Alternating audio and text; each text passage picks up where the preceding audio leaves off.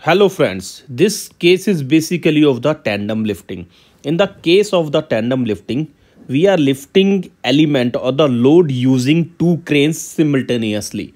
Here, this is the element that is being lifted up and there are two cranes, crane A and crane B. Okay, so this is basically the case of the tandem lifting. In today's lecture, we will discuss about how to calculate the load coming on each crane during the tandem lifting okay? Before deciding or before designing the lifting plan we first have to calculate theoretically what will be the load coming on each crane during the tandem lifting case okay? So this is our case. Now we will uh, basically convert into a simple numerical problem.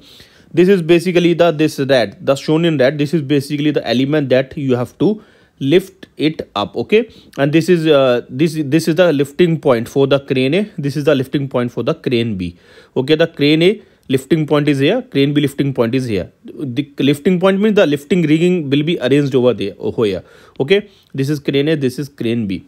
Now this lifting point are a distance of l2 from the cog for the crane b the crane b lifting point is at a distance of l2 from the center of gravity of the object and the crane A lifting point is at a distance of L1 from the center of gravity of the object and X is the vertical distance, the lifting point distance from the center of gravity. This is the data that is being provided to us. Now there are two cases. In the first case, there is no tilt, there is no angle, there is no tilt with the horizontal. But in the second case, there is some tilt with the horizontal called as theta. Okay, so these are the two cases. In both the cases, we have to calculate what is the load coming on the each crane for such case we just have to use the lever rule okay?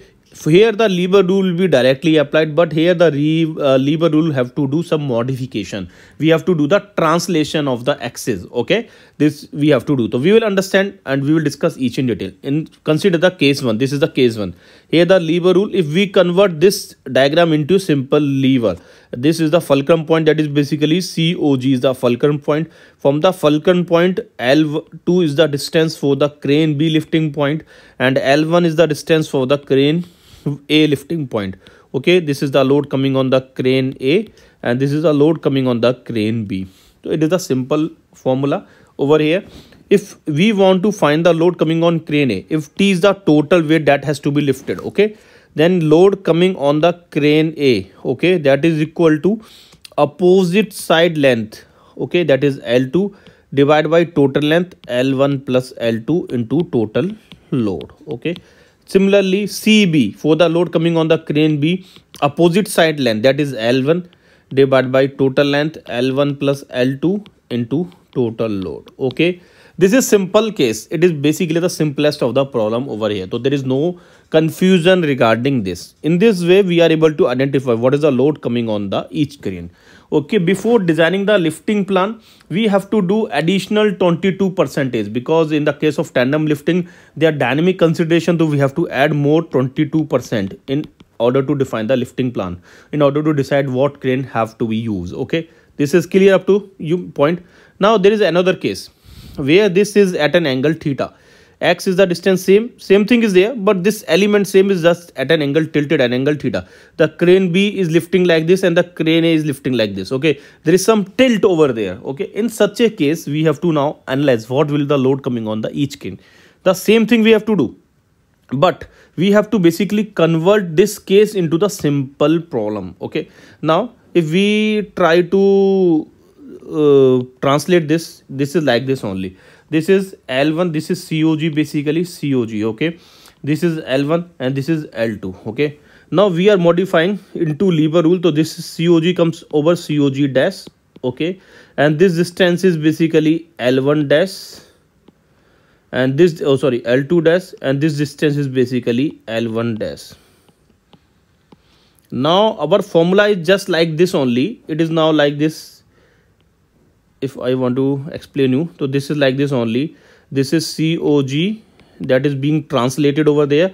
This is L2 dash and this one is basically L1 dash okay? CA load on coming A load on crane A load on crane B. CA is equal to opposite side L2 dash divided by L1 plus L2 dash into total load now cb is equal to opposite side l1 dash divided by l1 dash plus l2 dash into total load l1 dash okay now we have modified this but how to calculate this l1 dash and l2 dash? So for that we must have to uh, use some simple geometrical empirical relations. So what we have done we just translate this axis. We just made this like this only and this is the line that we have translated okay? Now this angle is basically theta okay? This angle is theta this angle is basically complete 90 90 minus theta. So this comes out to be theta. Okay. Similarly this angle is also theta. Use simple geometry is over here. Now we have to calculate this thing l2 dash. If we consider this triangle l2 dash is like this. okay this is nothing. This is not given. And this is basically l2 okay. And this angle is theta so cos theta is basically base over hypotenuse. L2 dash over hypotenuse is L2. So L2 dash is equal to L2 cos theta. So we identified L2 dash. So what L2 dash? L2 dash is equal to L2 cos theta. It is clear. This is the first thing that we got. Okay. Now we also have to find L1 dash. Okay. In order to find L1 dash, L1 dash consists of this part and plus this part okay?